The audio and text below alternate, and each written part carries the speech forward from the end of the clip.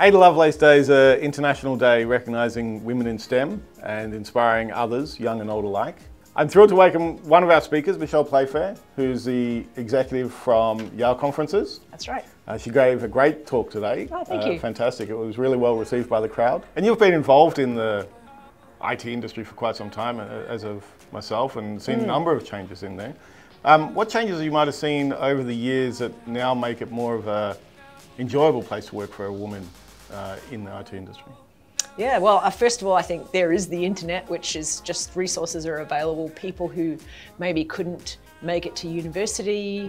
Um, there's online university courses now. Wow, who knew? Um, so you can actually self-educate a lot more than you used to be able to. Yep.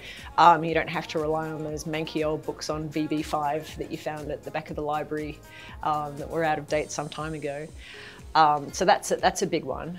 The other one I think is the shift in how companies treat people, and I say people, not resources. Um, I think that's been a big shift.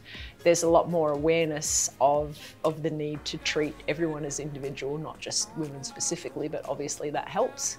So I think how companies hiring is changing is has been helpful as well. And of course, there's a lot more awareness now that that diversity is beneficial for your for your company as well as the right thing to do. So I think that that's been quite an interesting shift to see uh, in companies. And you know, like I was saying in my talk, there's no reason to stay in a company that doesn't treat you well Yeah. anymore because there are so many companies out there that do. Obviously, ThoughtWorks is pretty legendary for uh, how they treat their, their people, so that's a, a good example. Yeah, Yeah. cool.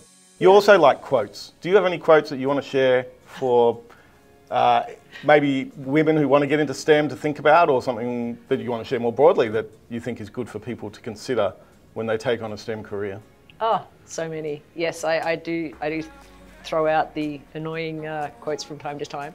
Um, and I suppose you alluded to one earlier on, which is the, the Richard Branson one. If, if somebody Yep. asks you to do something and you're not sure how to do it, say yes and figure it out later. That's that's probably a good one.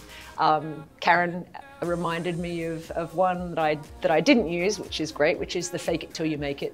um, Which you know people talk about imposter syndrome and and things that they feel that they can't do it, but a lot of people are faking it. Yep. You know, or or at least if not entirely faking it, you know, sort of putting on a, a brave front. I can do this while thinking inside, "Uh, maybe I can't.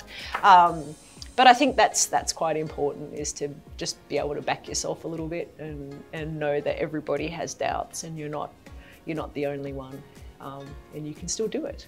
Right, well, thanks, Michele. Thanks for coming along today and giving an inspiring talk. And Oh, pleasure. I, I'm sure it's going to help others look at STEM as a real opportunity for a career in the future. Hopefully. Cool. Thanks for Thank having you. me. No problem. Cheers.